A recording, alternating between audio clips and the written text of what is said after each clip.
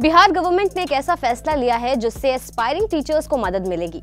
दरअसल, अब तक ज़्यादातर उम्मीदवार स्टेट टीईटी और सेंट्रल टीईटी यानी स्टेट टीचर एलिजिबिलिटी टेस्ट और सेंट्रल टीचर एलिजिबिलिटी टेस्ट दोनों की तैयारी करते थे।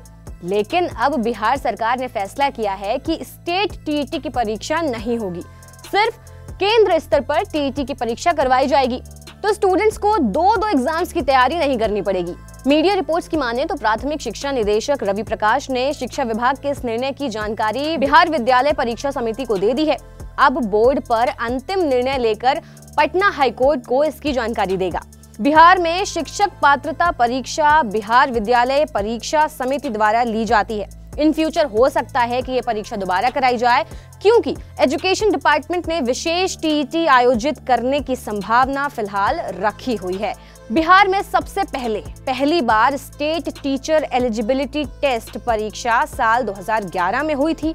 साल 2011 में टीटी में क्वालिफाई हुए अभ्यर्थियों की मान्यता सात सालों के लिए थी, यानी वो 2018 तक नियुक्ति प्रक्रिया के लिए योग्य थे।